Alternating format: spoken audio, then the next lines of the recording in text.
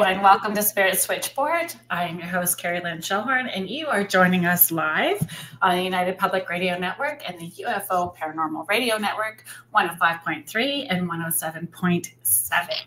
Today on the show, we have Melissa Paone Somma. She is a chakra specialist, Reiki master, psychic medium. Okay, and Melissa, metaphysician last week I was like promoting this at the end of the last segment and I kept tripping over that word. I don't know how many times I tried to say it. My brain really? was, oh my brain was going faster than right. and I just needed to slow myself down. It was the funniest thing. I was laughing at myself. You're probably tapping into my energy.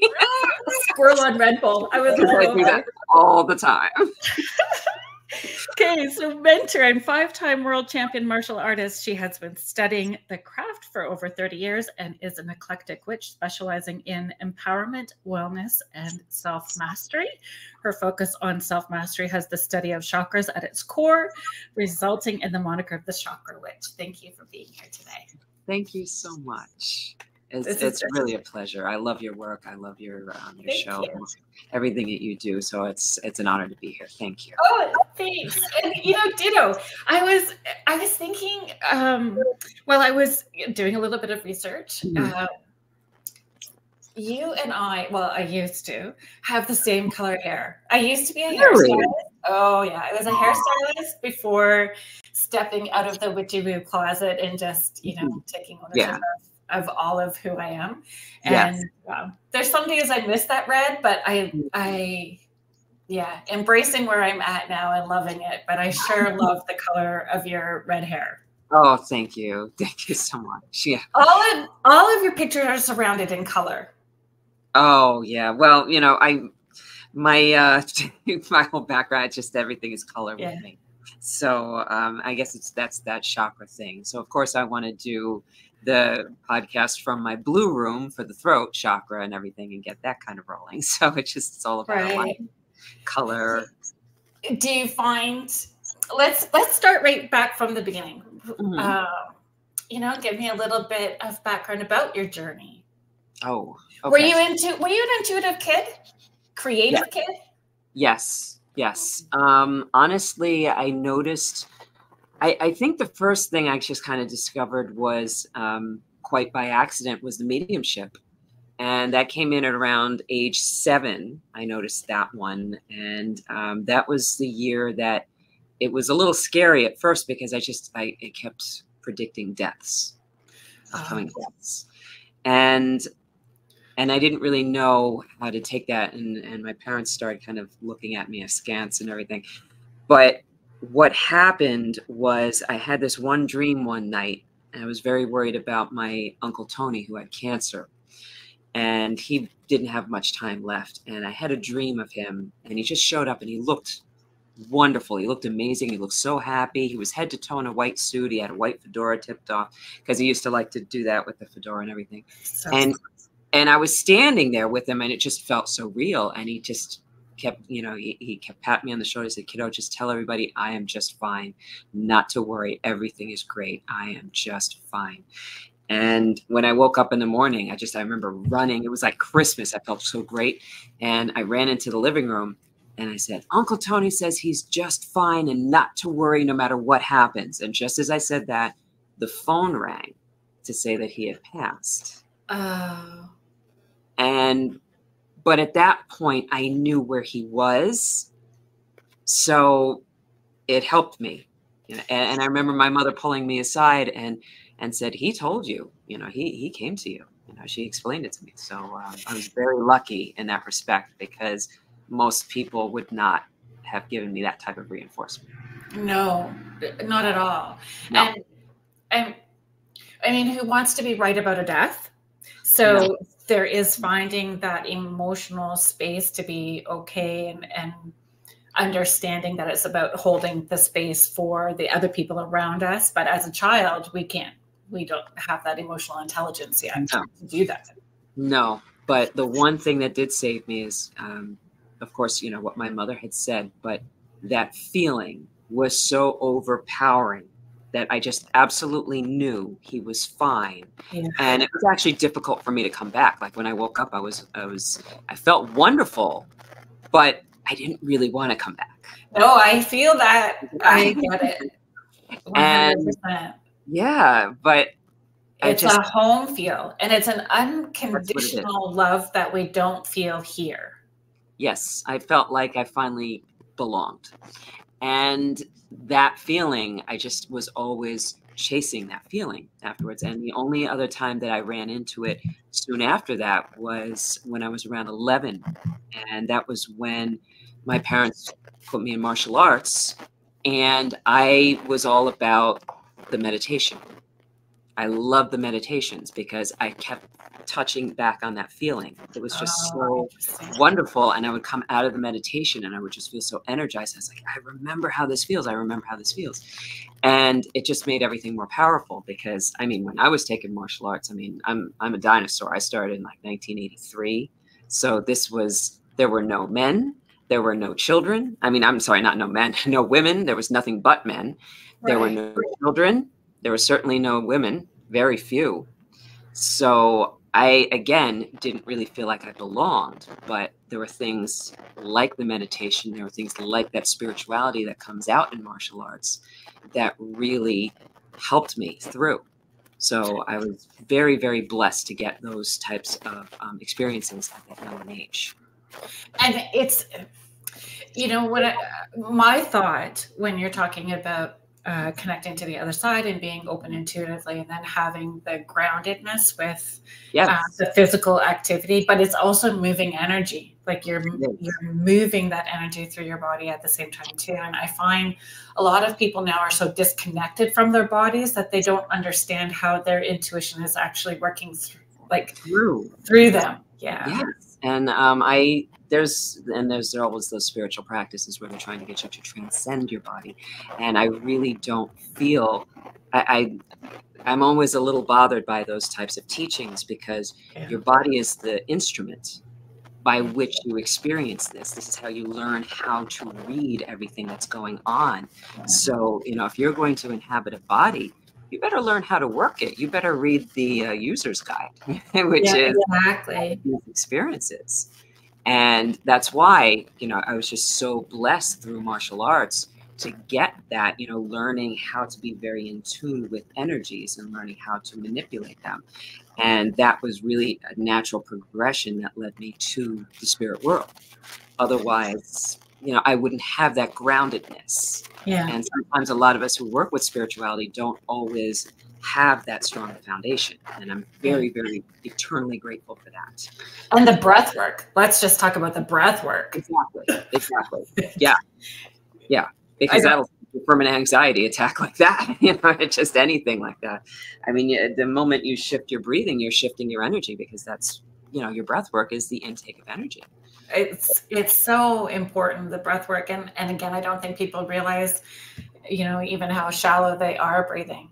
And they laugh at me when I go, "Come on, like once you practice, you can roll that breath from your nose, third eye crown, down your spine, feel it going out your feet and back up in 5 seconds flat. Be grounded and open." It's just Absolutely. practice, right? And it's- Absolutely. it's nothing you know um, extraordinary like we can all do this Yes. That is probably why it gets overlooked a lot because I think when people are touching into the, uh, you know, when they get into the spirit world, when they get into the paranormal, they're thinking it's going to be extraordinary. And really, all it is is that the key to the extraordinary is the ordinary. yeah You know, you're just doing it extra. Yeah. So, what we normally breathe at in an ordinary rhythm, extraordinary would be more mindful breathing. That's all it is. Yeah. And that's the key. It's just it's right there and we all have these things but um because probably because it's been you know something that we've always had the key to we tend to overlook it when it's something that's right there. Yeah.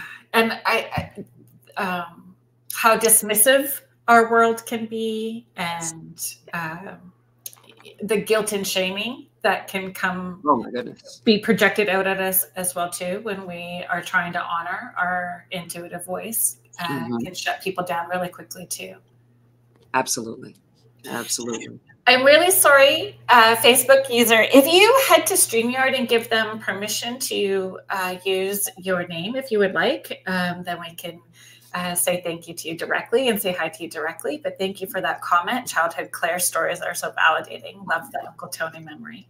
Yeah, thank you. I still talk to him a lot. I still call him through a lot. I, I kind of look at him as my um, my one of my guides because he was my first intro into the spirit world, and yeah, very very special to me. So. I, I had my grandma. I find uh, a lot of us have a family member or somebody mm-hmm. that we are connected with. So it, it, makes us feel safe to be vulnerable in connecting with energies that we may not recognize right away. Yes. It's that buffer place, right? Yes, absolutely. Well, you know, my, my grandmother too, that was a big one. She was actually the one who I would say um, really got me closer to the craft because um, she had, she was one teaching me how to set up my altar in my room. Although it was a very traditional, I mean, she was very Catholic, but I just noticed behind it, you know, just uh, and I always had that altar in my room, and but there was just so much more to it than what she was doing and saying. But you know, she was old world Italy, so there was definitely some strega in there. I'm telling. Oh, you. no kidding! but I I find okay. I don't want to get into a heavy religious conversation. So this Absolutely. isn't going to be, uh, you know. Mm-hmm. Please yeah. be mindful about. Absolutely, yeah. I don't want to. But I I find a lot of um, it's all good people with a Catholic background are very intuitive and mm-hmm. uh, altar oriented and, and routine oriented, structured towards intuition and yes. mythologies. It's way, way more than what maybe they would want to admit out loud. Probably, yeah. yeah. And it's just because it's so um, ritualized and everything. You know, put your hands this way, put your hands this way. So it's actually giving you a foundation yeah. of all of these things. I so, agree. Anyway, I agree. just leave it at that. yes. But I think that there's beauty in it.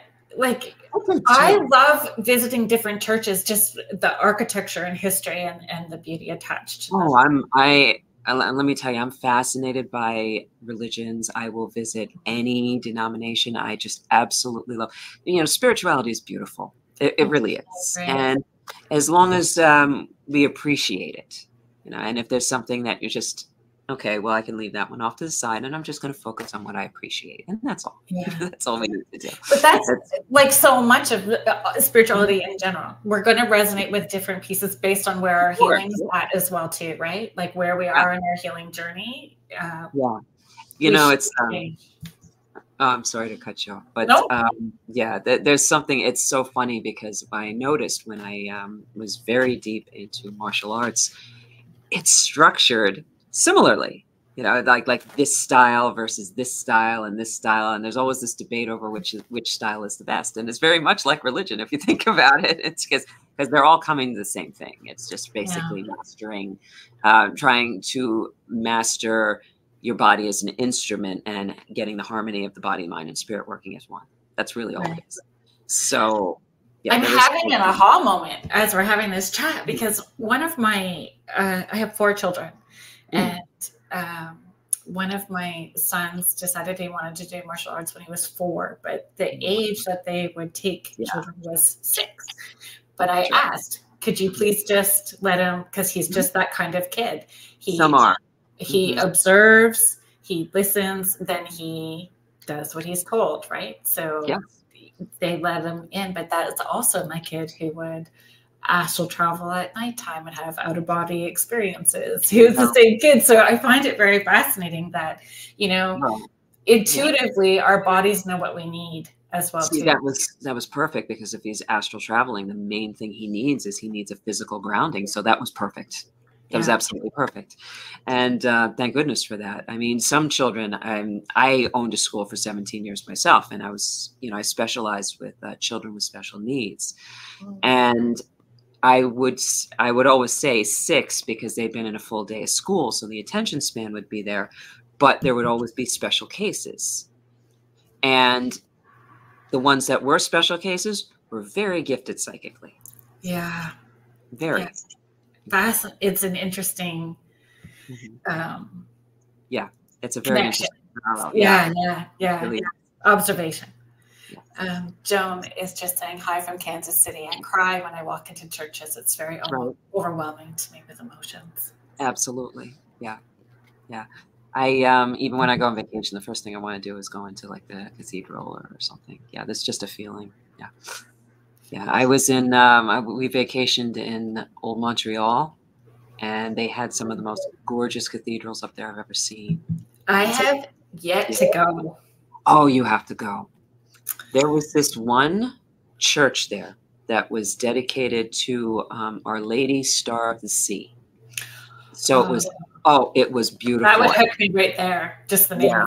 and she was just facing and and it had this huge statue on the top of the church and she was just facing the water going like this and she had the crown of stars and she looked just like Yemaya you know so she's out there like this and when you went into the church this was the one thing i was struck by is because it was um, it was supposedly the church for the sailors the sailors would go there to um, pray before a journey or to express gratitude when they came back so there was like little um, sailboats hanging, you know, little boats hanging from the top of the church and everything.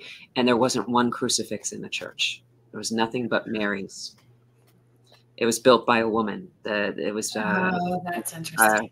There was a, a Saint Marguerite. Uh, I can't remember. I think it was Saint Marguerite Purifoy or something, and she collected the funds to have the church built. So it was a church built by a woman to honor Our Lady, and it was Isn't that nothing but- yeah, and it was nothing but mothers holding children.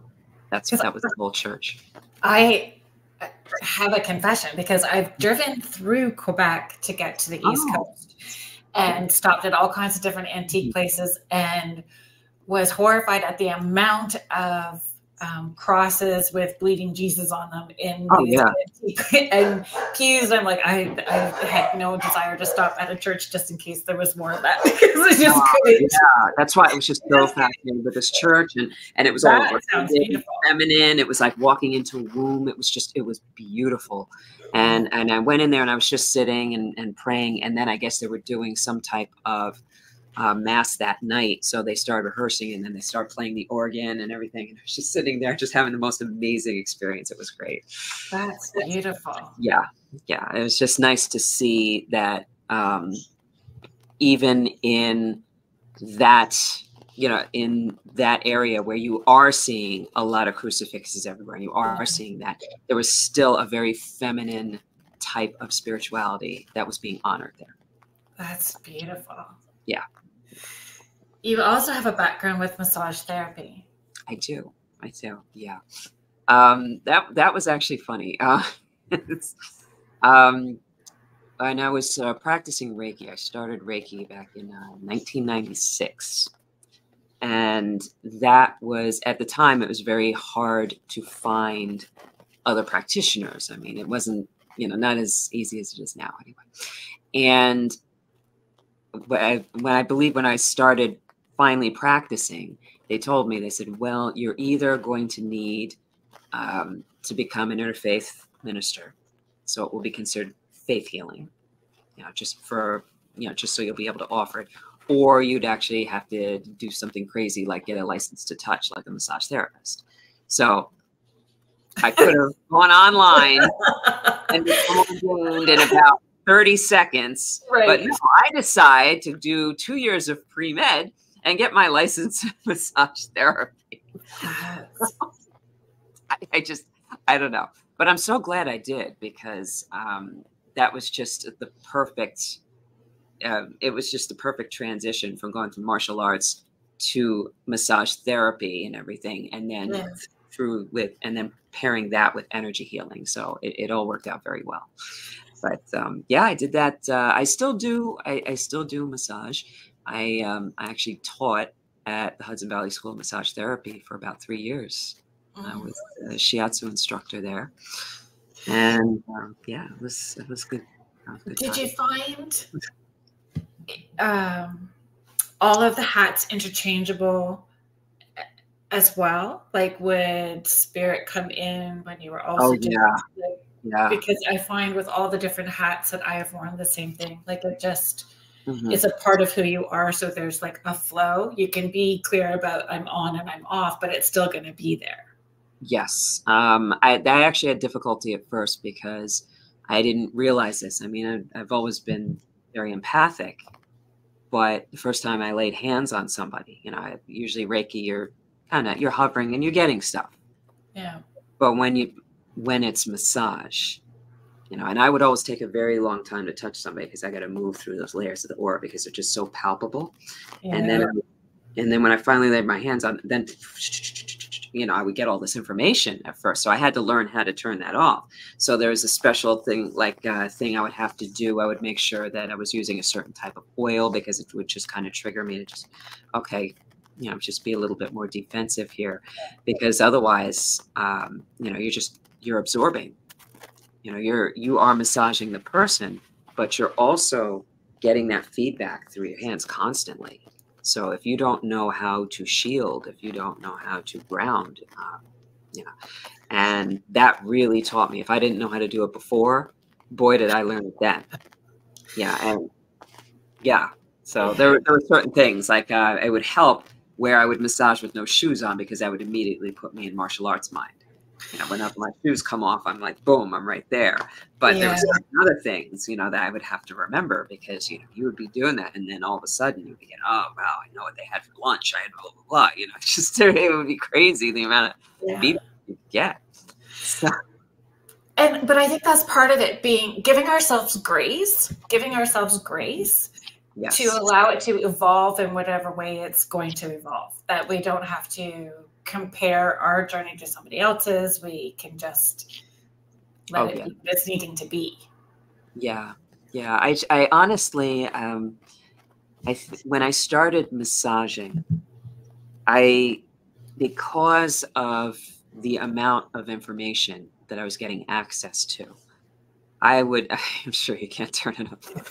It's not like a ra- it really is like a radio though. You turn the volume up and down. you It's, can, you it's can. kind of there all but I. I remember it would just be such a like I would be so honored that the person would get on the table and everything, and then and yeah, it would just be almost like a ceremonial thing for me yeah. doing a massage.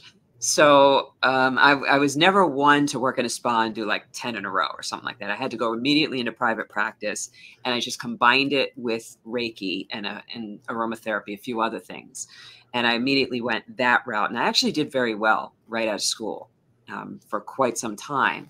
Uh, the, and Do you then think that uh, people were drawn to that energy though? Like there is a different vibe so. when you know that we pull those people.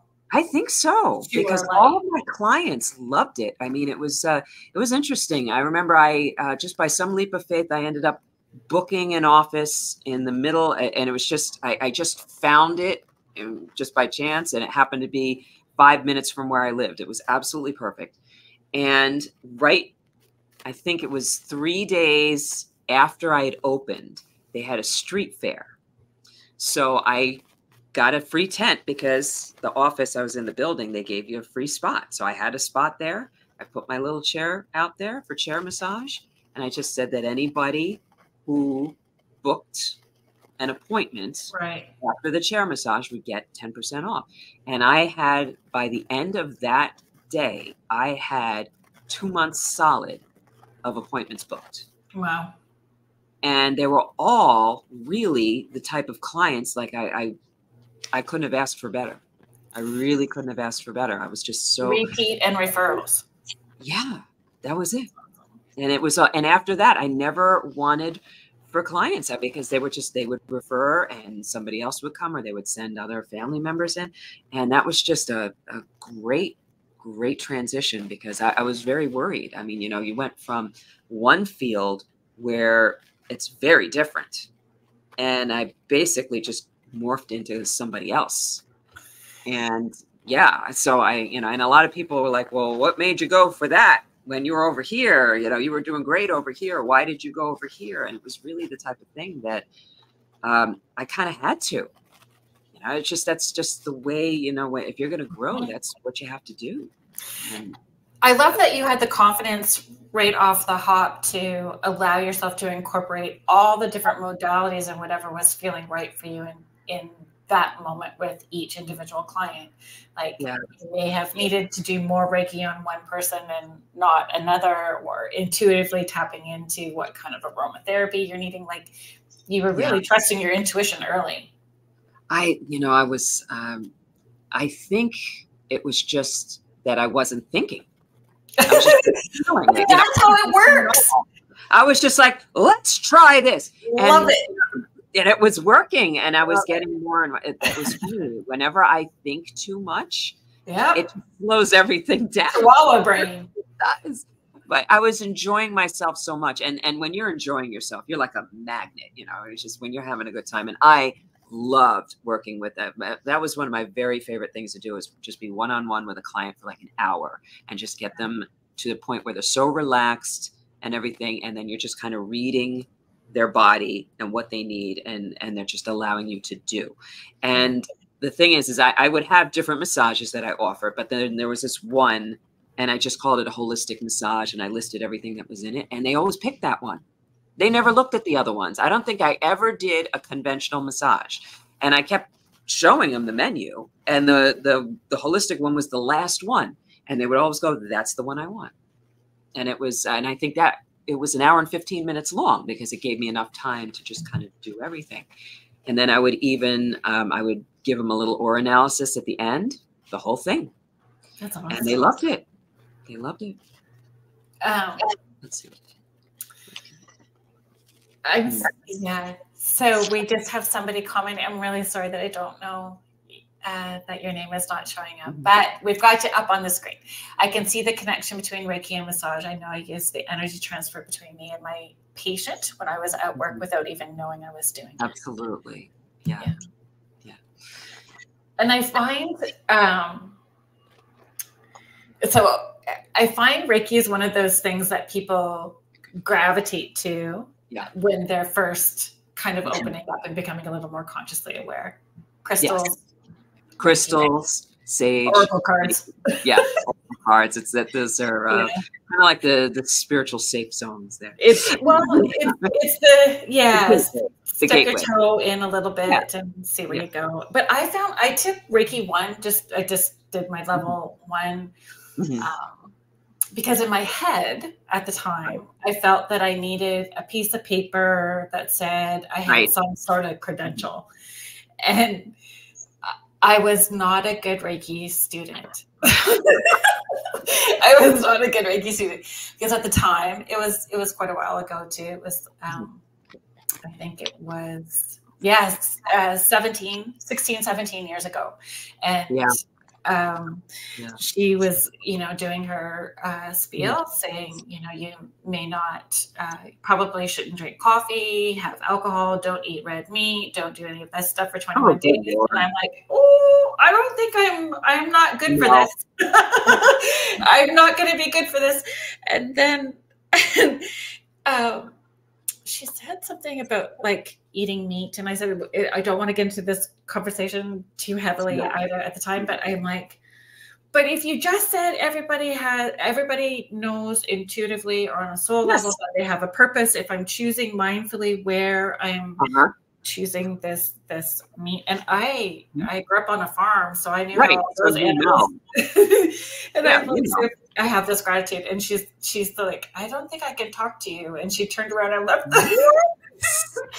and then when we were doing our practice, yeah, people like literally spirits started hovering all on the room curtains moved. She got freaked out said i don't talk to spirits. Can you deal with this? Because i did and then i dealt with all the spirits. So that was my reiki that was my reiki experience. But i mean uh, 17 16 17 years later i understand that the different healing modalities are just presented in different ways and it's all oh, the yeah. same thing coming from that collective consciousness of one and depending on your intention right Oh yeah. I mean, I you know how many Reiki teachers I got yelled at? Because see, I learned it originally because Reiki, it's a Japanese healing art. So it really came through. I don't think a lot of people realize this. That's a lot of the martial artists. So oh. we were a lot more hardcore, like you know, basically like you know, you've got somebody on there, and you're you're trying to calm them down because they got blasted at a tournament, and you know they're they're holding like an organ in their hand or something. You know, that's the way I was like I learning it. All right, but you know, I, and I learned Reiki one from another martial arts master, and then it took me right. ten years to get my Reiki master because either the teacher could not work with me for whatever reason um, they just decided they couldn't work with me for very similar reasons that you're telling me, or uh, they moved, or they just decided they didn't want to do it anymore. But I learned it from so many different types of teachers that every time I learned it, it was completely different. I learned it from one person who had um, taken Native American Apache survival courses, and they taught me something. So that was oh. pretty amazing. So yeah. they, they had me going out and working with like connecting with plants and doing it with that. Then oh, I had yeah, then I had somebody else who was very focused on crystals, and they told me that. So it was just everything that was um, basically I was taught every time a teacher dropped away. I was like, oh, well, that's okay because I'll probably get something really cool for the next one. Yeah. And then by the time I finally got it,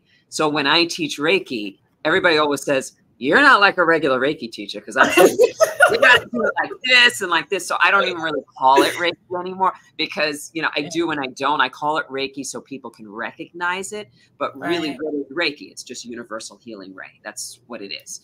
So, yeah. I mean, you know, just everybody teaches it differently, and if but if you're a purist, don't come to me. Yeah, I'm the same. I'm, my writing manual is like I wrote. It's like this thick. It's ridiculous. Yeah. I but I love not that I. It's not about attention seeking being outside of the box, but that eclectic mix just feels right for me too. It exactly. does because exactly. there's so many different sources and we're pulled to so many different things that. Mm-hmm. How can I deny and not look at one thing? It just yeah, feels yeah, too rigid that way you can't um, because then you're not even allowing to be yourself i mean the whole yeah. idea is like if let's just say, okay, I learned Reiki and I have it from all these others, so I'm going to pack it all in this these experiences and give them to my student. Then my student is going to take that, have a bunch of other experiences, pack that together, and give that to the next student, so it keeps expanding. That's the idea. Yeah. So you know, it should be.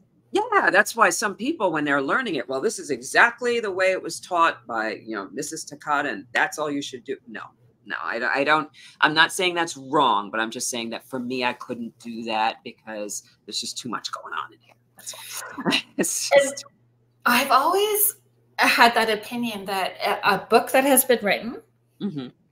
uh, was downloaded. That information was what it was at that point in time, and we are now in this space. And Correct. so, if we are feeling pulled to add something to it, we're we're contributing to that evolution as well. Absolutely. So how can we ignore that? Yeah, that's uh, I, I honestly feel that's a responsibility. Yeah.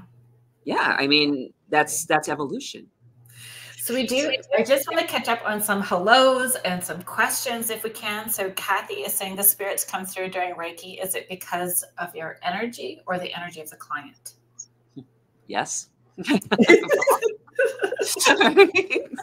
it can be both. Yeah, it can be both.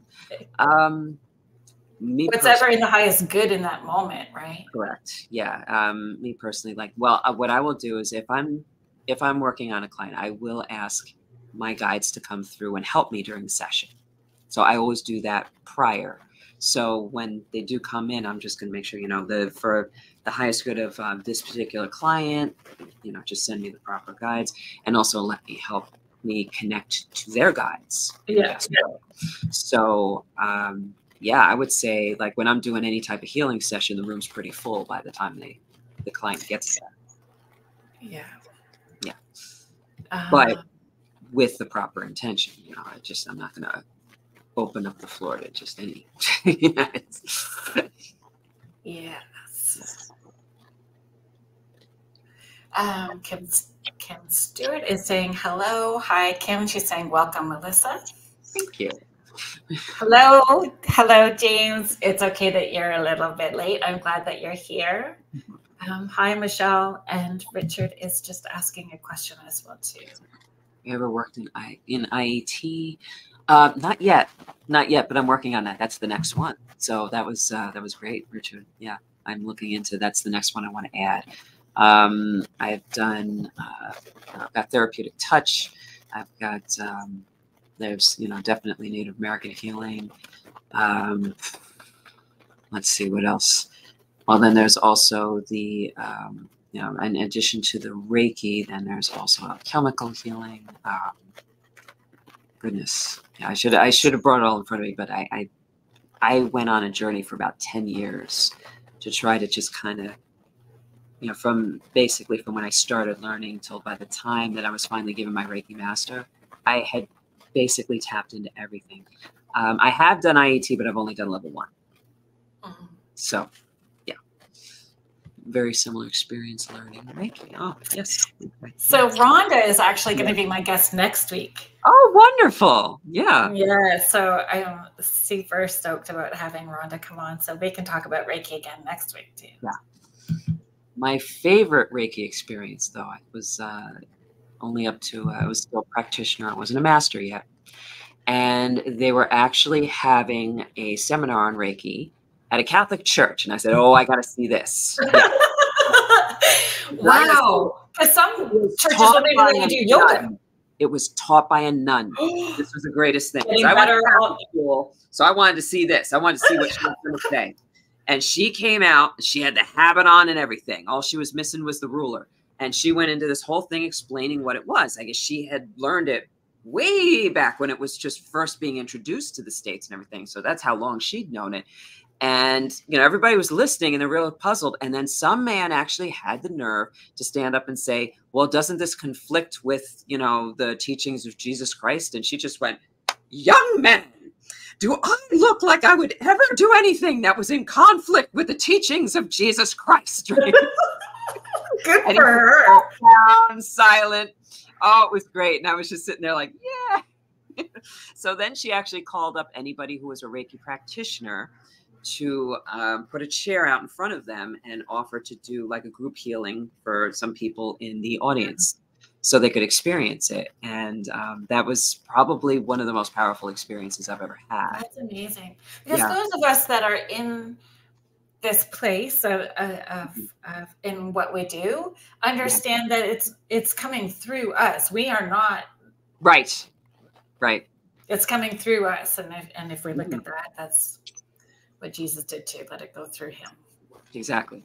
It's just what any any of us are really called to do. That's our job here. Just yeah. uh, be the conductor between heaven and you know heaven and earth. So Can, let's.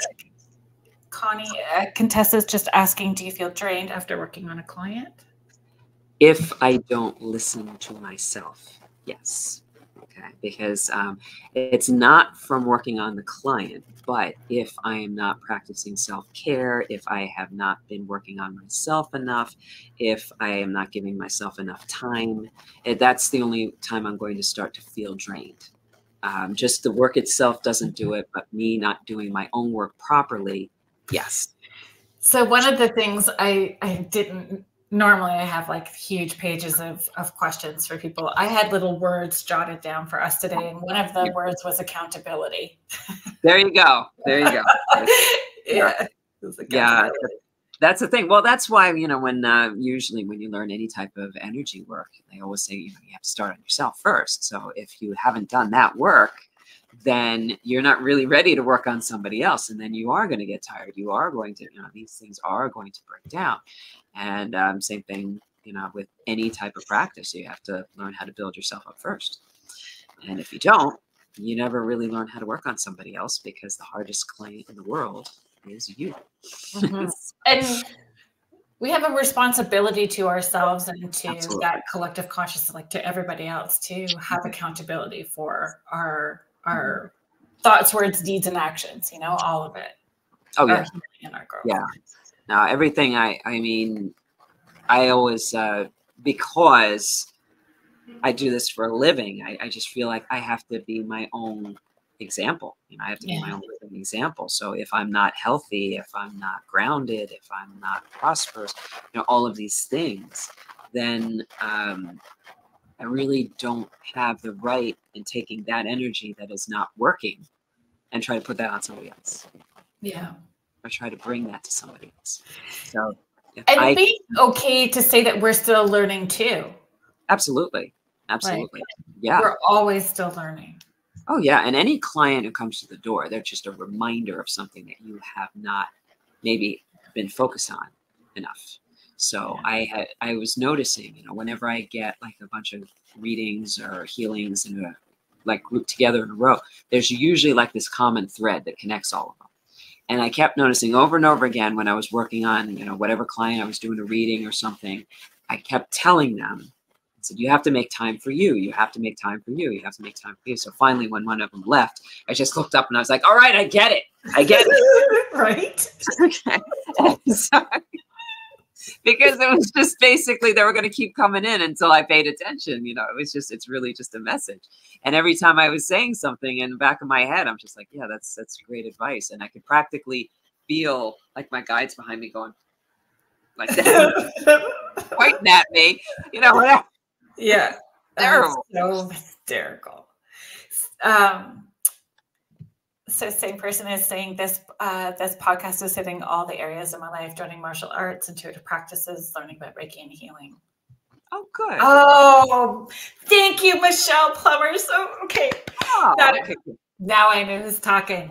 Okay and i love this. And you're right. You you are right in that middle of martial arts and intuitive practice. And like i i think that your light shines bright michelle. You know i'm a fan Mary Thomas, thank you for for being here. That's super cool, Brenda. I look forward to having uh, your session whenever that is. Thanks for booking in. It's um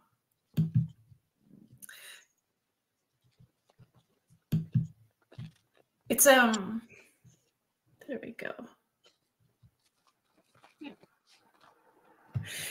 It's a big journey. Like when we start on uh and on our healing journey and taking accountability, mm-hmm. um, I kind of giggle when I see people tossing out like love and light to you and love and light to you, and I'm on this. I'm like, oh, they just haven't really dug in yet because it's raw and gritty and uncomfortable. Oh God, you know, are you kidding? I mean, everything is all. it's all. Mm-hmm I mean, you know, the not to I'm not criticizing anybody, but no, I just know that, you know, my journey has always been like I think people look at me now and they're just like, oh, you know, and they don't realize. I mean, you know, I was, you know, I I started out my journey. I, I, mean, at first, you know, just the age of seven, I was, you know, at one point I was afraid to go to sleep. But then by the time I was 11, you know, I'm there in, you know, basically a room with a bunch of men twice my size who were trying to scare me out of there because they didn't want me to slow down the rest of the class. So I was basically getting beat up on by professionals. and and it wasn't even my idea. My mother signed me up. She was just like, "Well, you're too much in your own head and you know, because I just used to put on the headphones in my room and trance out and just draw and write and everything. And I know now that I was channeling. Yeah. You know, it was all automatic writing and messages and everything. And I would come out and I would be a little out of it. And I think that my mother just intuitively knew that I needed something to ground me. Yeah. And, you know, we tried dance and um, I actually had to stop at one point because um, this is actually funny. Um, I was actually quite good at ballet, but they pulled me aside at one point and they said, You've gone as far as you can go. You can't go any further because you can't go up on point. You have flat feet. Oh. Yeah. And at that time, they said, You have bad feet. You can't. You can never go up on point. Uh, however, flat feet is very good for martial arts because you're hitting them with the whole bottom of your foot. so, I and, I taught dancing forever. I started dancing when I was four, and I taught till I was like six months pregnant with my second son. I taught oh, forever. I loved it. And I remember the teacher actually cried when she told me because it was just something where I, I was just loved it. You know, I just picked it up. They showed it to me one time. I had it. Um, and then she just put me off to the side and everything because she knew I already had it. I could basically watch any routine once and it, it was there. Mm. And I loved it. And, you know, I just loved moving with the music and everything. And and she did. She cried because she said, I would I would love to put you in, but you you, you do you have bad feet. I mean, you don't even have an arch. Um, Wow. but I think that was basically the universe's way of telling me stay grounded Yeah. gave me my flat feet. And um, that was just something to always remind me. And that was basically what gave me that type of powerful grounding because I mean, you know, I love dance so much that I was just like, I was out in the heavens when I was doing that. So that was not for me as grounding because it was just too. you know, So do you find music puts you can pull you into that space really fast now? Like if I have to do any writing or any I find that Mm-hmm. Oh, yeah. right tone and play the same song on a loop for three hours till I'm I done. do that too. Oh God, that thank God somebody else does that. Yeah. that to drive my parents nuts. That drives Yeah. people nuts. I always have to have headphones on because I could just sit there and loop the song and then I'm just gone. Yeah. And yeah, it just takes me away. And I think that's why I love dance so much. yeah. And that's why, you know, when I'm really working out, you know, the music has to be there. It has to come on. And there's certain songs that it's just like you put it on and I'm just right there. And and I would have this playlist that I would play prior to at the tournaments and everything, get me all psyched up.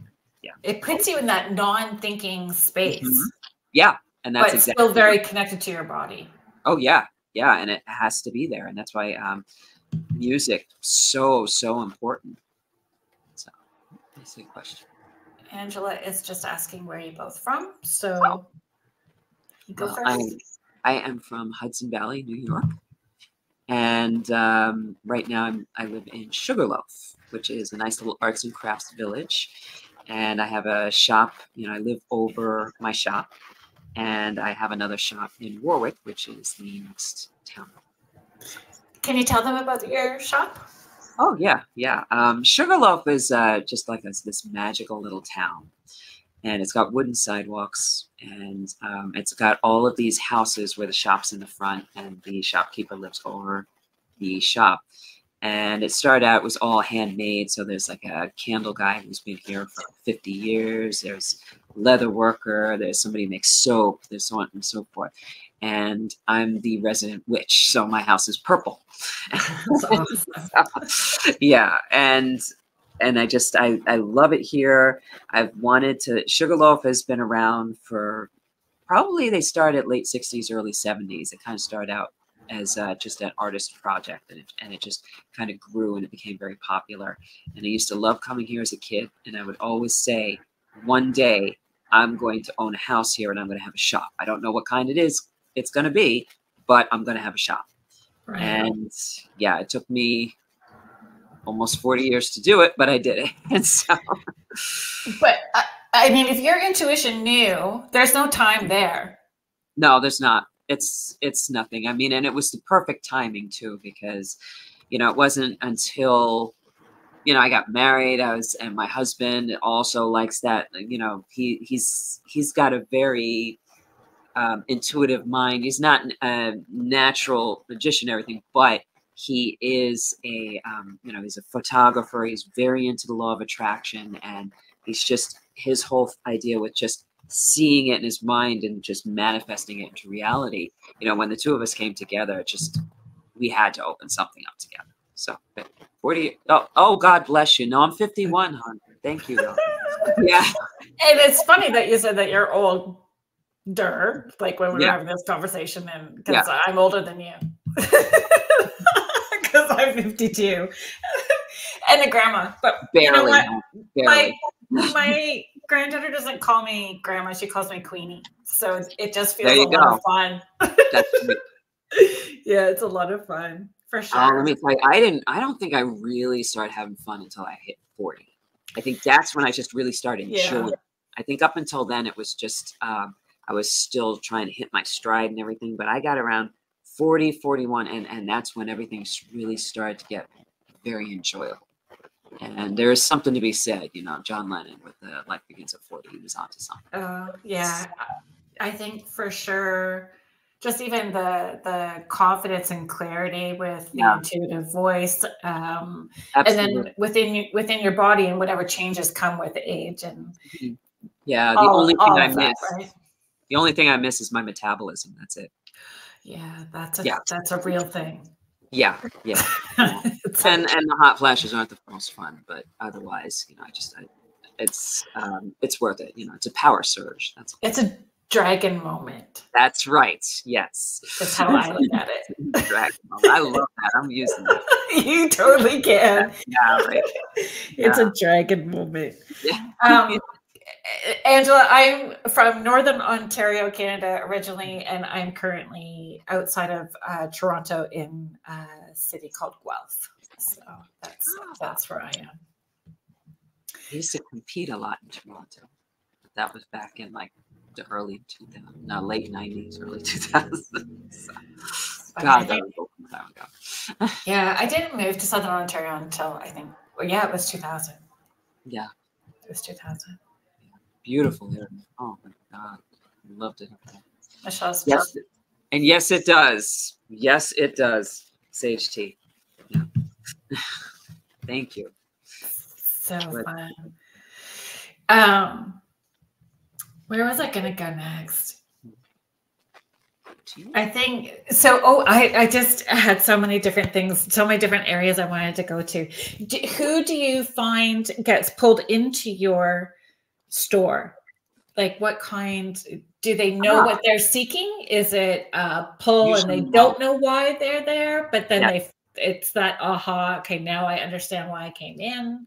Yeah, I, I think it has a lot to do with um, we didn't just when we named the shop I, because there was so many things coming into it. You know, I had my husband's photography in there, so we were going to have this whole section with the art. I was doing the healing practice. We had the um, you know the products that we made. We were making our own candles. We're making our own oils, everything, and all of that. Trying to figure out how to put all of that together under one roof. Uh, and what do you call that? So we decided, you know, to call it a curiosity shop. So it worked out very good because everybody always comes in and goes, I'm curious, you know. so they like it. And usually they're just they're drawn to it or their friend told them they they had to come here and they're not even sure what they're seeking necessarily, but uh, they don't even know if they want a reading, but they just they know they want some type of session or they they just want to come in. They they just feel very drawn. Um, it's interesting because I always feel like my house is kind of like platform nine and three quarters. Only certain people can see it. So, but every dog can. People will be walking their dogs, and the dog always tries to go. It's the best thing. So that's how I know I'm doing something right. Like some people see Purple House and they'll be like this, trying to go past my house. You know, they'll cross the street because they don't want to go past the house. But the dog is trying to get up the steps, and that's I- Always trust the animals. Animals know. Oh cats sleep on my porch everything you know I just uh, there's a lot of people in the neighborhood they just let their cats run wild they're always sleeping on my porch all the dogs are trying to get in so there's there's got to be something there. The people are afraid to come in. I know that you know that i still have i i'm just waiting for the right client that's all. And anybody who's afraid to come in is not the person i would want. I'm sorry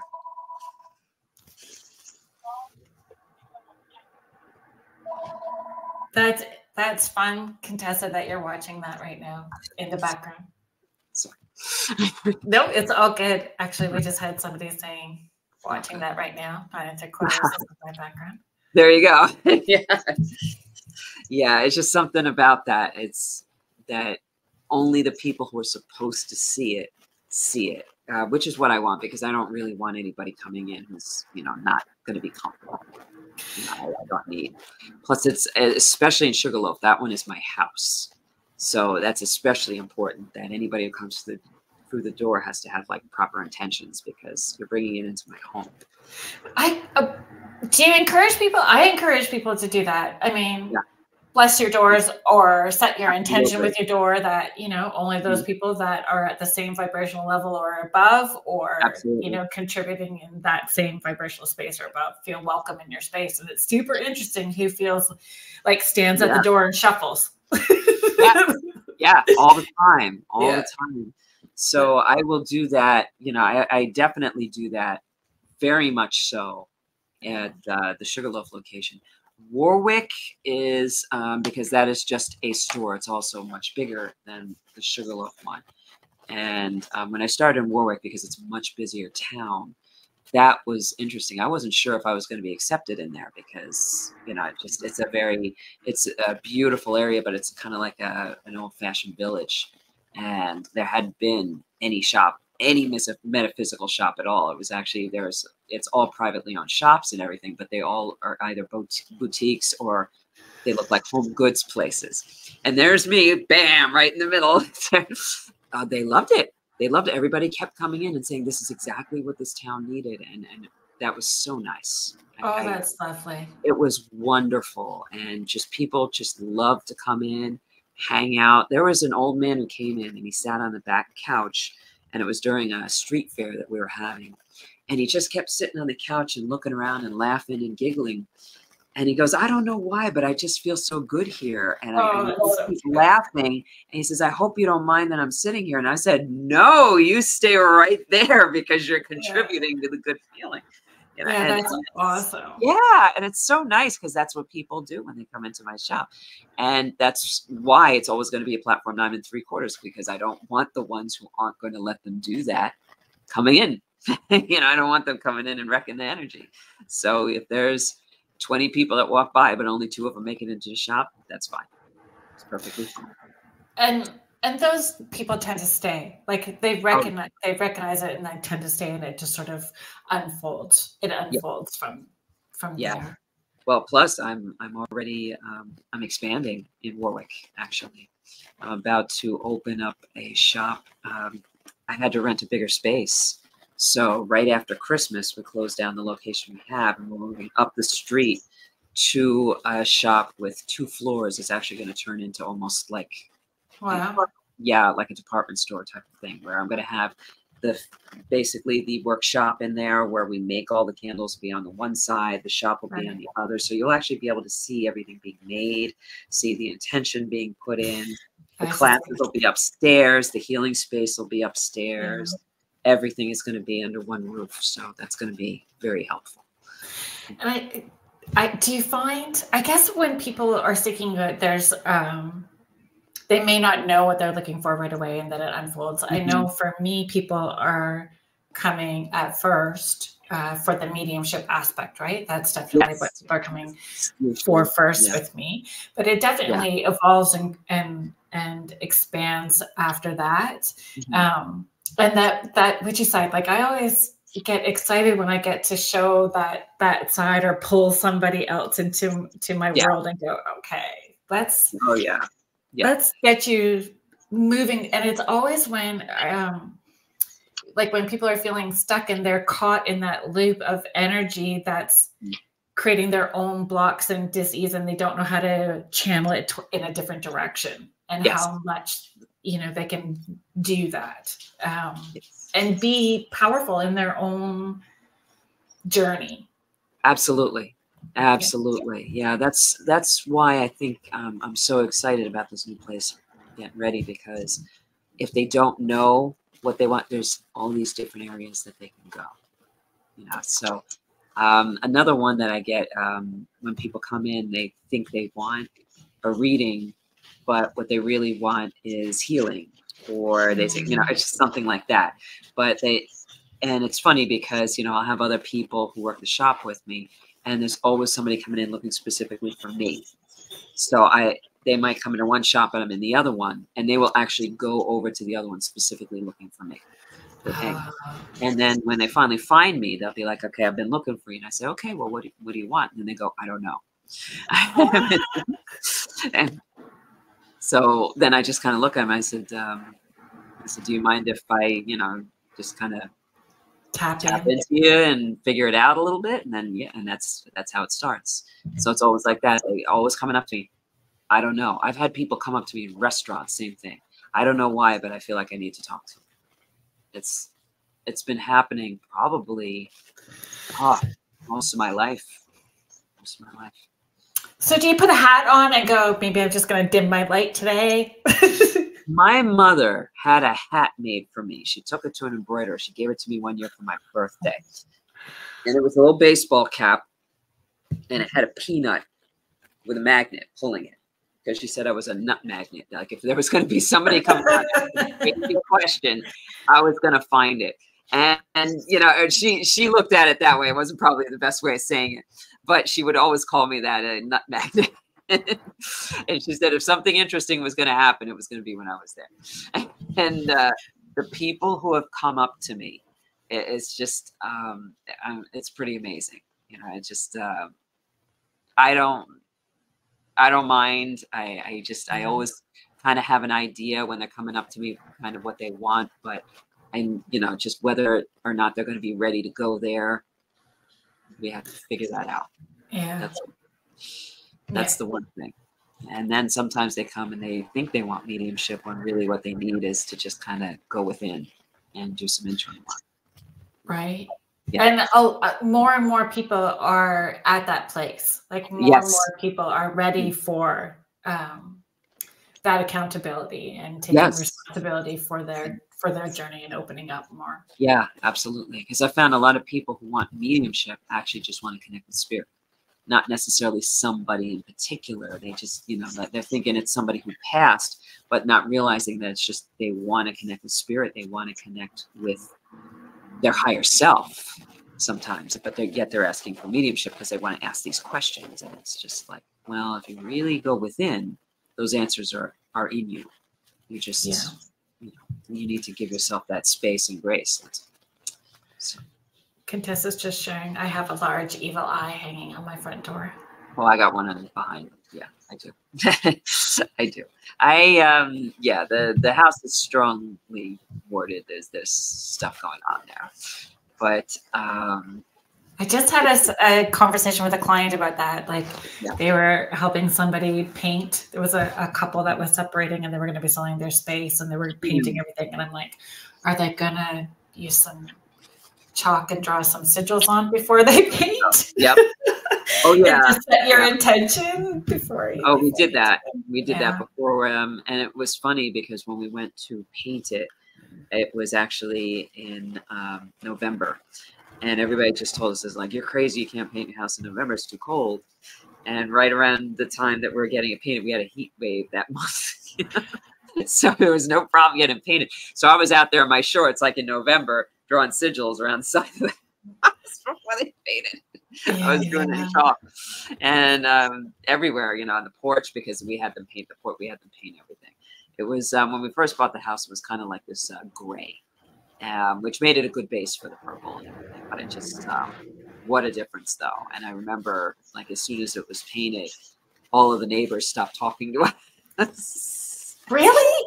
You would have thought that it felt like life was breathing into it, or it was breathing well, with life. You know. Well, it's a it's a surprise. I think that uh, there was there was a lot of people at the time were very set in their ways. But since then, there's been like some more people moving in, kind of bringing some more blood in there and everything. I think we kind of uh, started that when we came in. We were one of the first ones to come in that actually lived there. A lot of people, um, when Sugarloaf had first started, it was everybody, it was live work.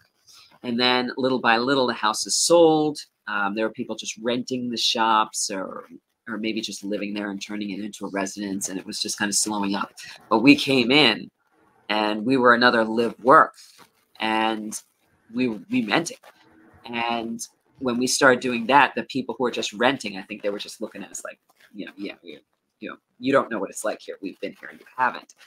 And um, eventually little by little all the renters left the houses went up for sale and then people started buying them and then opening shops so oh. it's starting to shift back into that. And the people who were coming in never knew the house was any other color.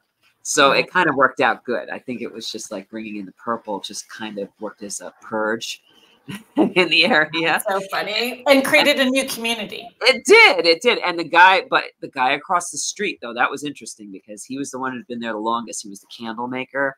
And he's a, like this old hippie who comes out. he's always like leaving little candles on everybody's doorstep as gifts and everything. And he came out and he's like, I love the color. I made a candle that matches your house. And he gave us a candle. Oh, he was great. You know, and he's out there like going like this in front of the house, you know, because he's just this old you know, um, just this uh, basically super cool, real hardcore hippie guy. That's and awesome. he's just done nothing but make candles for the past 50 years and drive around in his uh, like little classic car. And he just has a great time. So and yeah, and he just loves anything we do because it reminds him of him when he was young. And he gets just such a kick out of it. So yeah. Oh, it is. It's very magical. so yeah. That's awesome. If you are just tuning in, you are listening to Spirit Switchboard. We are here live on the United Public Radio Network and the UFO Paranormal Radio Network, 105.3 and 107.7 New Orleans. Um, maybe we should uh, just, maybe there are some people that are listening that don't know what sigils are. Maybe we need ah, to backtrack just yeah. a wee bit and, Good you point. know, not exclude anybody from the conversation. Do you want to talk a little bit about well, the way I use sigils, I, I, basically I work with runes. That's the way I've been doing it for um, most of my life. Is that uh, I I started in with that. My um, my brother got me started on that. I should say. Uh, That's fascinating. Is there a story yeah. to that? Oh yeah, yeah, yeah. See, my brother, growing up, was very into Thor. Okay, very okay. into the comic books back in the day and he was one of those where he gets when he gets really into something he started reading up on the mythology. And he got very into it to the point where he was like reading up on Asatru and everything. So he's he was getting into it. And so he started he bought a set of runes and he was pulling them every day but he he wasn't liking what he was getting. So one day he just got mad. He just threw them at me. He goes you take them right? So i took them and that was the beginning of me. I, I so i've been reading runes since i was about 15 so mm-hmm. when I work with sigils, I use runes because they are, you know, it's a first off, let's just go. It's an old Germanic, uh, like a Viking alphabet, and the runes. That's really my main form of reading. Is I do um, I I do a combo of runes, and sometimes I'll bring in like tarot or oracle with it, but mostly it's runes. And I think the reason I like working with them so much is because they're so versatile and they do become sigils, especially if you combine them. If you start putting two runes right. together and everything, you can create um, your own unique messages and um, intentions.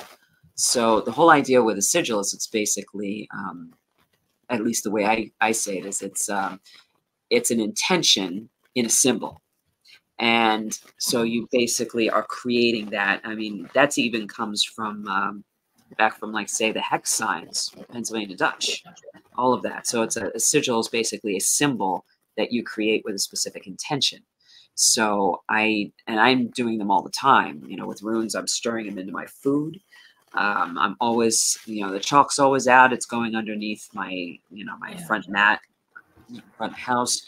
Um, if I if ever I'm going to paint something or you know whatever, I, I even when I'm shampooing my hair, practically I'm doing stuff like that. So underneath our water tap. Yes. It's yes. underneath our water tap. We have a sigil. Yes, there you go. There you go. Perfect. Yeah, I mean, just like whenever we have something installed, and oh, I've got some access, I'm doing that. You know, there's one uh, underneath the bathtub. There's one. You know, just uh, there's always something. You know, if something new comes into the house, of course, I'm going to be doing a sigil on it. You know, it just it's just basically a way of um, branding yourself really, yeah. if you think about it. And that's something that is really important when it comes to the home, I think, because that's just an extension of your body, you know, and it's the same thing, you know, if I'm doing, you know, if, if even if I'm just taking out an oil or something like that and I'm applying it, I'm not just doing this, I'm actually drawing it with a symbol. So I'll be doing like intentions up my arm. Yeah. And I've done that when I've massaged people. I've actually done healing sigils right in there. And uh, sigils is actually that's the basis of uh, Reiki. They use symbols also, yeah. so it's all over the place. Yeah, and you can and creating your own in whatever mm-hmm. way feels right for you. It's about oh yeah yeah. It, it's it really is about your intention, and it helps you have that focus and and shifting and moving your energy, like really connecting to Absolutely. your energy and yeah, I don't know, moving that power from you. Oh yeah, yeah. I mean, a lot of times I remember back in the day when I used to um, have the headset on and I'd be drawing. I didn't even know what I was drawing. but they were all sigils. They were really Mm. obviously downloading sigils, symbols, you know, just um, anything I could think of that was just They weren't just doodles. no, they definitely weren't doodles because you know I, I saved a lot of them. You know, and I look back and I go, my God, I remember one time I was just um, years later I looked at it and I was like, oh, look at that! I did two two of the Reiki symbols are right here. I didn't even know that one. Like I had. Seiki and uh, Choku Rei were both there, and I, I had drawn them like years before I even knew what the heck they were. So Right. yeah, we're just that's they're all coming in from the same, you know, basically collective. So, what 80s song were you listening to when those channeled? Do you know? Do you remember what song be Right. listening I'm to? trying to think of what I used to. Um, let's see. Uh, I just got to tease it. a lot. But if you remember, you are even. I might. I, I'm. I'd have to think about it for a second. But I, I used to. I, I used to put so many things on loop. on a loop. and yeah and Did there's I that one and some of them are, are silly like when people like when i tell them and everything they'll be like really that one and everything um ah, For me, it's different songs depending on what it is that. I'm working on too. Yeah. There was this one song oh okay i do remember one of them that i did a lot of sigils to and it's the silliest song but it was new edition and the song was called once in a lifetime groove and there was something about it. It had this opening that and, and i just get in that. And, and it was funny because it was one of the few that had lyrics because usually i'm not good with when they're singing it distracts me. So i just need sometimes a background. But i remember that one for some reason i would get into that rhythm and then and it just went on loop. And my mother i can't stay so yeah, and and so man you know i remember like uh this was before you know this was i just got my very first boombox but i did not have headset yet that, that wasn't really you know i remember when walkmans came out that's how much of a dinosaur you know we're talking here. So Yes. I, I was lucky you know my mother got me a walkman right away because she just so she wouldn't have to hear that stuff anymore.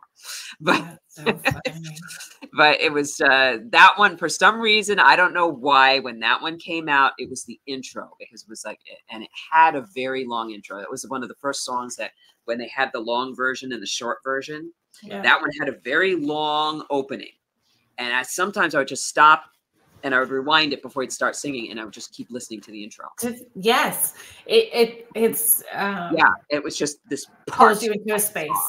yeah, it was that part because as soon as he opened his mouth, I was like, no, no, no, no. And then I would rewind it and then just boom again. Um, there was another one that always was very good was, um, you know, anything Van Morrison into the Mystic was always very easy. That was just boom, I was just gone. Um, but then there was a live version of Caravan where he just went on and on and on with that la la la la la la la la la la la, and it just and it went on and on and on, and I was just Yeah. like gone. You know, I could be gone with stuff like that. But there was there was so many. I just I'll remember more when I'm not thinking about it. But there, okay. I could So basically thank you for sharing those ones. find, I could find something anywhere. But And yeah. for me, the music doesn't have to be one particular genre either. No. It's like Mhm. across the board, all kinds of different things. That's why people look at my playlist and go, "What what is wrong with you?" They don't know. They're like, you, "You can't make up your mind here." You know, you've got you're you're over here, and then you got hard rock and everything. One that's very easy when I'm always going Zeppelin. You know, anything Zeppelin, of course. And boom, there it is. And um, that one I would listen to a lot, and then I would be- and then I would turn around and do the intro to New Edition for like an hour. And oh, my mother, she just. I felt bad for her.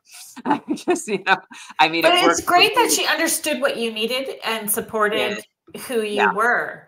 Oh, she! I was lucky. She was the one who signed me up for martial arts.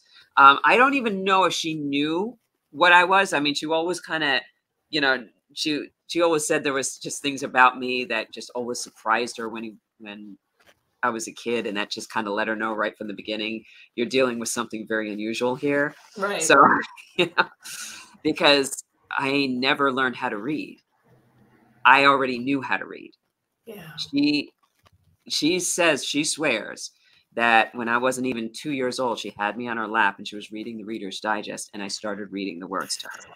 Isn't that wild? So I have one kiddo that was he didn't talk till he was over three, and then yeah. as soon as he started talking, but he was like telling you how the Titanic sunk and oh, yeah. how your kidneys function, and it was it was wild, you know, mm-hmm. and and reading. And when I thought, because I tried testing him too, I'm like, yeah.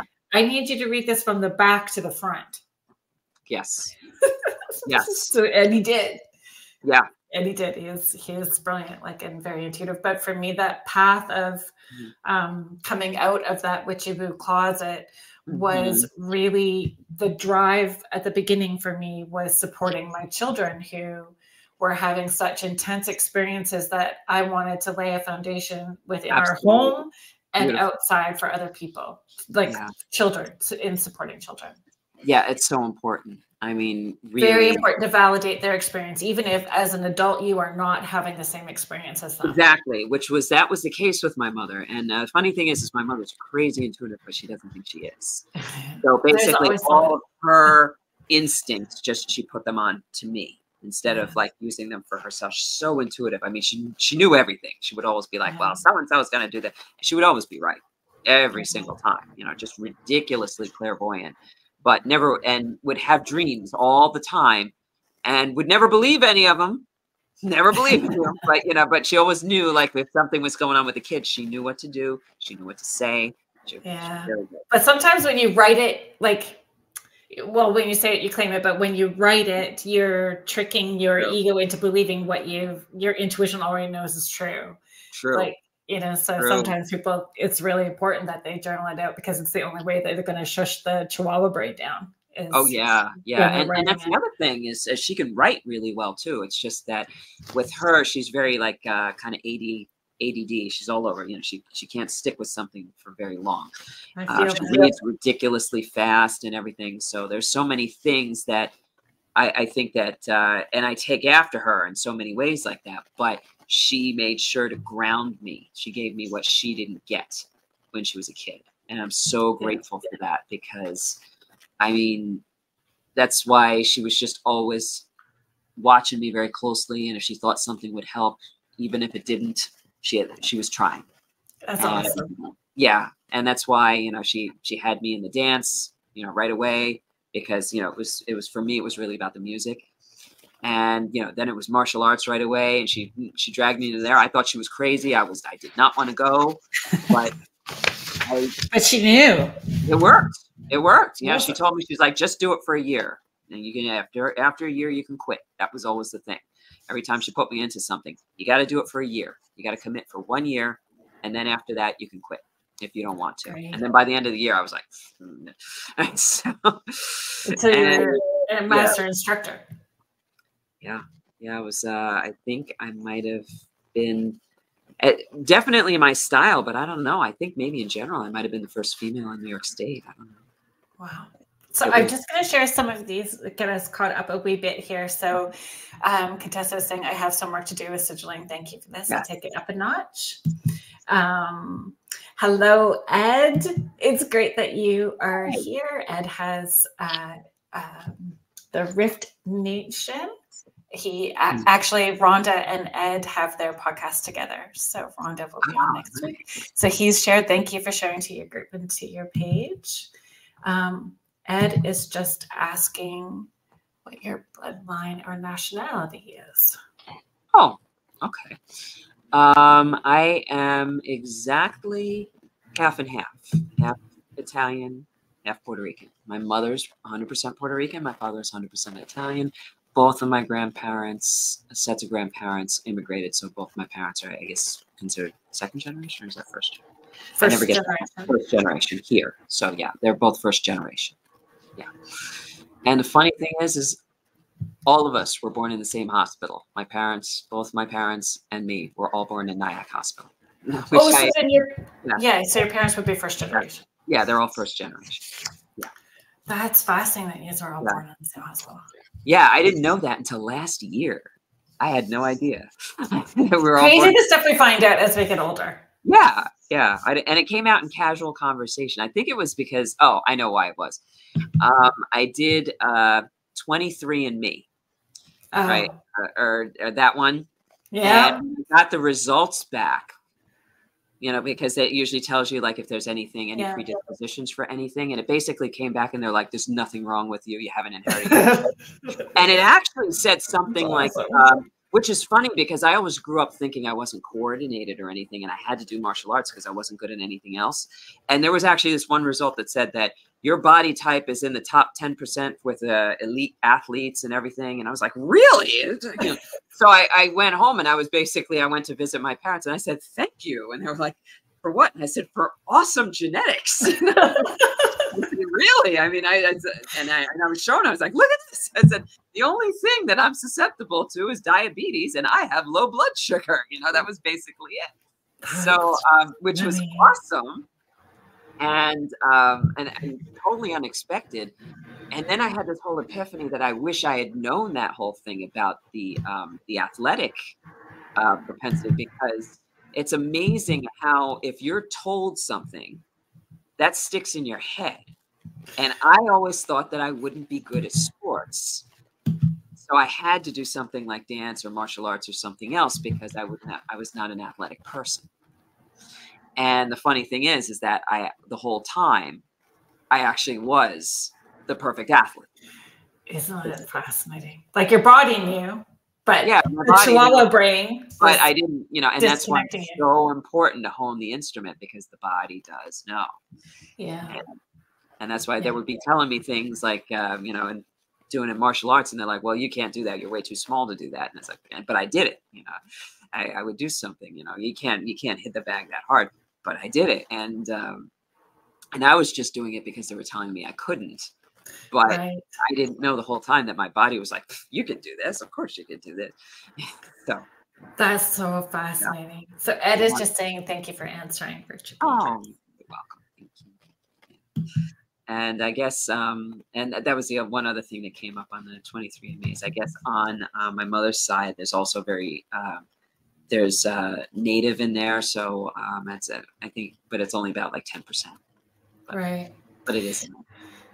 We, uh, my mom lives nine hours away from Mhm. from where I live. She's nine hours north, and uh, had gone up in the summer for a family wedding. And my mom, uh, my sister, was there as well. My mom gave us all of our Christmas presents early. She said, "Take them home." My sister said, Mm. "Have you opened up your present yet?" I'm like, "No, it's for Christmas." I'm waiting. I stuck it in the desk. This was like in the summertime. I'm like, I'm just waiting. Well, it's the like 23andMe, it's the ancestry. And my mom Oh, yeah, has been bugging me steady. Have you done it yet? No, you gave it to me for Christmas. I'm holding out. but my sister's done hers, my brother's done her, like his already. Everybody's done them, but she's um, Wow. very impatient with me to get that ripped open and my swab done and sent. I just, uh, I'm not sure. I stuck it in the desk. I'm ready to see what the results are going to be. Just waiting. Well, it's the Oops. I don't know what just happened there. My apologies. It's all good. It's, like it's all 23 great. it's the Oh. ancestor. And my We got a little bit of a loop happening. Oh, goodness. Okay. Isn't that weird? Um, you know, I wonder if that has anything to do with. okay. Um, I just learned about this one, and I don't know if um, you know anything about this. I just found this one out not too long ago. What a slider is. I don't. You don't know either. I just found this out. Okay. So apparently, a slider, and this is something that I've had issue with all my life as well, affects electronic equipment. And it's something that was discovered. it- It's actually a paranormal phenomenon. I, I, I have not been able to wear a watch because if I wear a watch for any length of time, I'll either drain the battery or it'll go back Yes. You're a slider. Okay. And this is something I didn't know what it was. And I finally looked it up. And apparently, uh, Nikola Tesla, his secretary was a slider. And he had to make sure that whenever he did any experiments, she was on the other side of the building because she would affect the, you know, whatever he was working on Yeah. and they have a tendency they can you know you can make lights flicker um, you're just affected by certain electronics that's why I, I have a tendency there's certain types of iphone i Oh yeah. yes. you don't work otherwise and everything And yeah, this is actually a thing. I've even walked past cars and heard them unlock. Nobody's been in the car. So Mhm. if you know, if I ever wanted to like entertain a life of crime, I probably could, but I would never do that. Right, but, right. you know, but it's actually a thing called a slider. And it stands, uh, I believe it's, I'm trying to remember what it stands for, but it's just, uh, it's somebody who affects the, um, who is affected by electronics and something like some. let me see if I can find it. But, uh,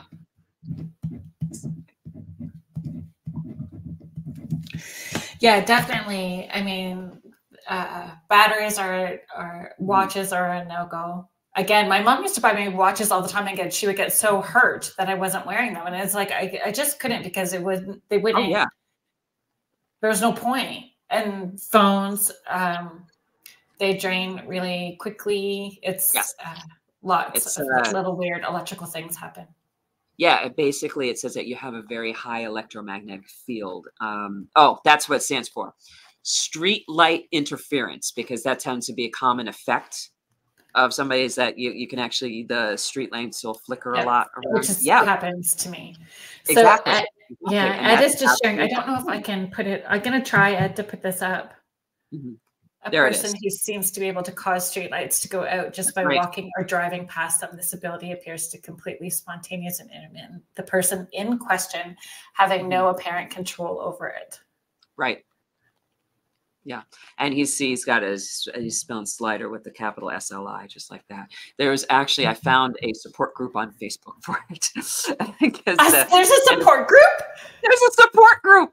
There's actually a group on Facebook, and everybody's like, "Hi," you know, and it's almost like uh, you know you're jo- joining some type of group where you're like, "Hi, I'm a slider, and this is what happens to me." And it's, yeah, me too. And it's the greatest thing. Yeah. Okay, so uh, uh, if we go down this rabbit hole, like somebody else told me that that was maybe um, due to uh, maybe a possible alien connection that that I've heard that. happened as well. So, I mean, there's that aspect. So, in your support group, is that something that comes up in that, or is it something It totally? It does. Um, it's some people touch on it. Not everybody does. I think it's just that you know it depends on um, the person because some people do um, really resonate with that. Um, sometimes, most of the time, when they talk about it, it's just it's really more about uh, it being electromagnetic phenomenon. But Yeah. it is accepted that just about every slider has a great deal of psychic ability. Yeah. And I do personally feel that there is some type of connection there. I do.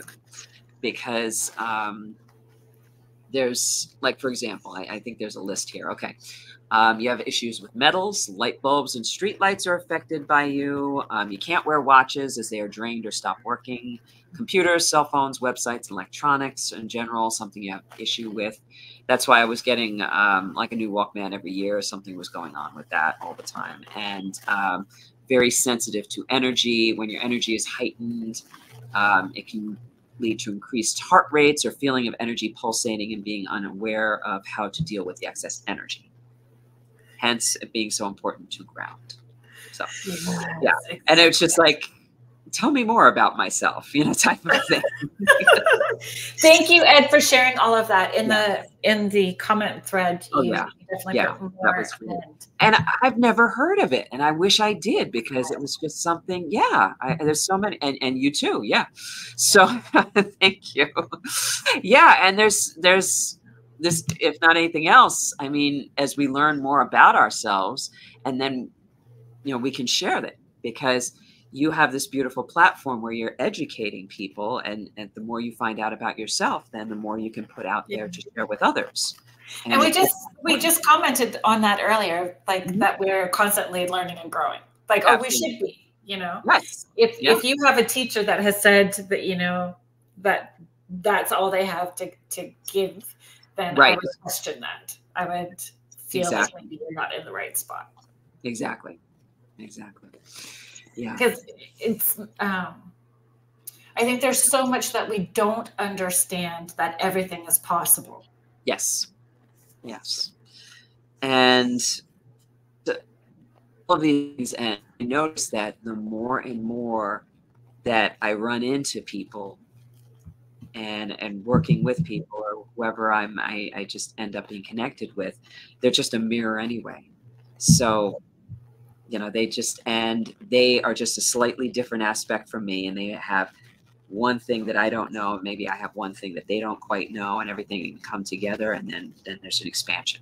So it's just the more you know yourself, the more you are going to run into people who mirror that. That's all. So one of the, in, we've hit almost every one of those little talking points, and one of the questions that I had uh, that I actually did write down was Mm. like how our energy influences the world around us, like in helping people understand how we're contributing to that collective consciousness and the collective energy around us. Could you talk about that? Ah, yeah. Um, there was uh, there was a lot um, I, I would say right before I really started um, on the path I'm at, on right now, where you know just kind of teaching and sharing with everybody. Right before I started teaching, I had gone through a really bad uh, clinical depression for about four years. I mean, it was terrible. Um, where I was basically just wanting to feel anything. It wasn't like I was feeling bad. It was just that I couldn't feel anything, which is terrifying for somebody who is empathic, intuitive, anything like that. It was basically like just the switch got turned off. And I pretty much, I think that um, the reason that had to happen is it was, um, ah, yeah, it's it's almost hard to talk about, but it's important. Yeah, it's um that had to happen because um, I've always worked with. I, I think because with martial arts, I've been I've always been teaching. I'd always been connecting. I'd always been working with somebody else, and this was really a call to arms: work on yourself because it was it caught up with me and i think that you know sooner or later it does you do have to um, you you do have to do the work Especially those of us who are teaching. Exactly. And it's a low, low. yeah and let me tell you um, there were times where i wasn't sure if i was waking up the next morning. I mean that, that let's be perfectly honest it's not easy. And i had to you know and i spent four very you know powerful years doing as much you know doing the work and trying to get myself to that place. And um and it was not easy but i would do it again in a heartbeat because of the return. Like i i found myself. I i, I felt connected again. That feeling that i got way back when i had first seen my uncle tony on that other side i got access back to that feeling again. Right. and that you know that's that's worth it. That that's definitely worth it. And i think i also need to be through that because then that way i could come from a place of authenticity when i do encounter other people who are in that spot and until you do your own work you're not authentic Yeah. Agreed.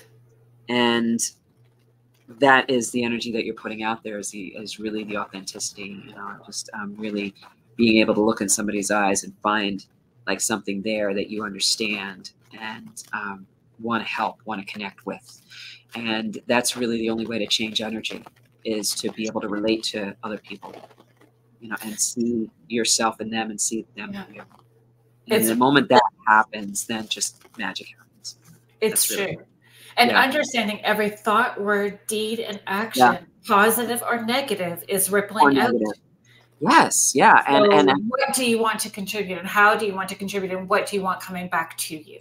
yeah and and it's just it's not about i mean it's really about accepting all those parts and i think that you know, that depression made me who i am. Yeah. and that you know and and there are times i feel it you know you, you know that it's it's coming in and you can feel it you know that feeling again and oh you know am i going to be back there again? But the thing is is that that is a part of me and i do accept that and i just know that um, when it does start to show up it's got a message for me Yeah. and it means you know and it's calling my attention to something so it's really um, it made me more responsible for myself. Yeah. Thank And you that- for Yeah. being brave and vulnerable and, and sharing that part of your Yeah. story. Oh, it was hard. It It's is. I remember from for me, it was when I uh, was pregnant with my Oh. son, and um, there was lots going on at the time. There was so much that was going on at the time, and uh, yeah, it was it was a lot for sure. And that's I mean that's a story for another day, and for sure for sure Oh. I'll, I'll share. But it's it's pretty intense. But it really put me to what I'm doing now Exactly. and and he came and he's so intuitively connected it was crazy when he was little he was seeing like before he was three he was seeing Kuan Yin at the end of the bed telling him Oh my goodness. enters like he's just a he is just something and i Oh, remember at the time thinking like why did you choose me how did this little soul through. contract happen Yeah, what what you went through readied you. To push me to remember who i was authentically so i could step into doing my path of purpose right So Absolutely. it's how That's why it's how when- it works. I would never want somebody to beat themselves up for, you know, like not Oh, no. in that place because it's just Yeah. like no, because you're doing some very powerful work. and you may not recognize that person anymore but you will be grateful for that person like you may not rem- remember like or resonate with that anymore but you're grateful.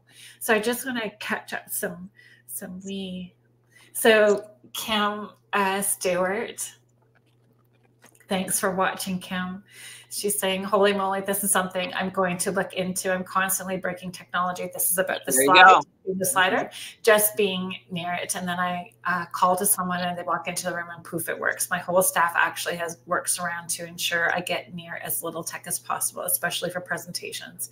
That's She- me. yeah. Can't wait to learn more. Thank you. It's not a metal plate in my head after all. Street lights constantly have had this happen especially as a kid. Awesome learning new Oh, things yeah. here um, ed is just asking Do I study the Tao? Um, I have. Yes. Yes, absolutely. Oh, oh, you're very welcome. Yeah, it's just that that is one of the um, I, I'd say one of the most powerful things uh, that's really ever happened to me, and and people will always look at me a little odd and say, "Really, you have depression?" Yeah.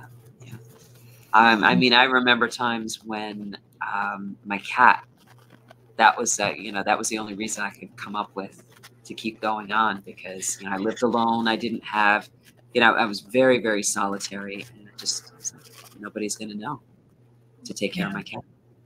Mm. And, um, you know, it's I think when we and we're giving other people permission to be okay with their authentic truth too. and all of the emotions that all of them are okay to feel. All of them are important and make up who we who we are. And for- Absolutely. i was a single parent. I was a single Yeah, parent. i had been um, separated and divorced for such a long time. And um, like it was i think six or eight years my daughter um, my i had my three older children and then my uh, daughter at the time was just turning three and she was eight and i'm like okay so i need to have a date or two had a little bit too much wine and then like oh no i'm pregnant at 34 like it was, it was like oh my goodness how and i had had so But many so losses to be. I know. Yeah. and I had had so many losses that I didn't, Yeah. you know, There's a conscious vessel. Shoom, you know, Yes. that's, her, uh, and that's he's, been her powerful being. stuck. stuck. But we have, you know, my youngest son's dad and I have co-parented from day one in such a beautiful way that we we've raised a beautiful young man and we're we're friends that support each other. But you know that that's what it was. But that's when my my depression was so bad. They had a social worker with me to make sure that I was even going to take care of him when he was when he ah. was born. Right. But the story is so important. Like it is. Um, because it was like two years moving out of that and i i had to go back to the hospital. I'm telling i'm sharing it now. So i had to go back to the hospital two years after he was born and uh, go into this room. There was two desks. One was empty. One had somebody sitting in it. And there was a woman in spirit behind the other desk. And i i'm like i don't normally do this but this is who i am. And, and are you comfortable if i share? It here's my business card so you can check me out. And it turned out to be the mom of the person who was not at their desk and they were having her funeral in that moment. And I said, so I will gift her this opportunity. If she wants to have a session. I would, I would love to just you know, do this for her. And um, a week, uh, she she did email me. That person emailed me, and shortly after that, um, I went back to the hospital to do the reading, and it was the social worker that was with me when I gave birth to my son when I was not in a good space. And I tell people, I mean, I certainly add a little bit more to it, but I mean, Yeah. that That's to me is the epitome of why we're here. We are here to share the gift of who we are unconditionally from our heart space. And the people who need it will will be there to receive it and then it will come back to us at any point in time you don't know. Yes, absolutely, absolutely. And yeah, there was actually things that when I I remember going through when I was going through that depression and everything, there were people that I met at the time that um, years later I was able who had helped me through it, and then years later I was able to return the favor. Yeah, And- it's a beautiful thing. Amazing. That was It's- just so amazing. It's And- powerful. the person was like, "You're a completely different person." I was like, "Yeah, yeah." I said, "I, I said, I, I think I was in a, you know, the cocoon when I met you. That's all. We all come out of it eventually." Yeah, You know, we do. Yeah. We Yeah. do. Yeah, it was And amazing. I think too, there's there's so much that we learn from that uh, um, grace, uh, forgiveness, yes, uh, uh, letting go of uh, guilt or shame, all of those things. Like there's, it's just powerful. yes. No, it was. uh That really um, put me on the path, and it was interesting because by the time I finished, like like I, I felt myself coming out of it, was right around my 40th birthday. Because I felt it. And it was like this weird little divine timing. And I think that I just entered that decade so grateful. You know, and it was just like like like it was this whole new world and, and and it really just started manifesting so quickly. And a year later, you know, I met my husband, and then boom, the next thing I know is then we're like, oh, let's do a business together. And, and, and it's just been a warp speed ever since. So when you do, and it, it's it's such a it's a hard thing to explain to people what that feels like. But when you understand and you are taking the time to tap into your body and feel what different things feel like, how your intuitive language speaks to you, you feel when you're in flow and how quick you can manifest, and you can feel when you're off kilter and you can start shutting it down as fast.